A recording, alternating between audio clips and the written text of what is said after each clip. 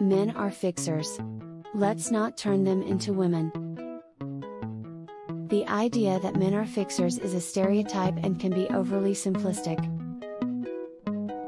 While some individuals, regardless of gender, may have a tendency to want to solve problems and take action when faced with challenges,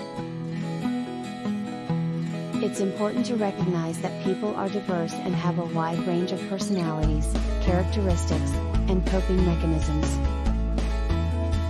Men, like women, are not a monolithic group, they have their own unique qualities and ways of dealing with issues. It's essential to avoid reinforcing gender stereotypes that limit individuals and perpetuate rigid expectations about how people should behave based on their gender. These stereotypes can be harmful and contribute to inequality and misunderstandings between individuals.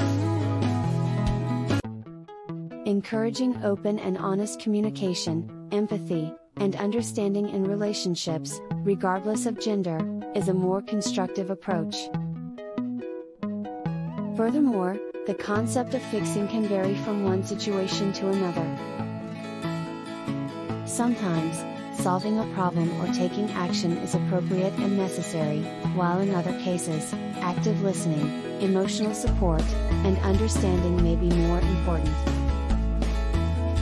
Effective problem solving and emotional support are skills that can be developed by anyone, regardless of their gender, and they are valuable in building healthy, balanced relationships.